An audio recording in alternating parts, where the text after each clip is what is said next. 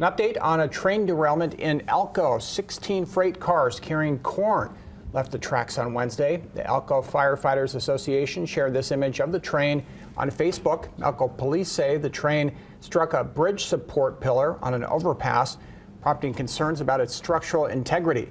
No injuries were reported. Union Pacific is investigating the cause.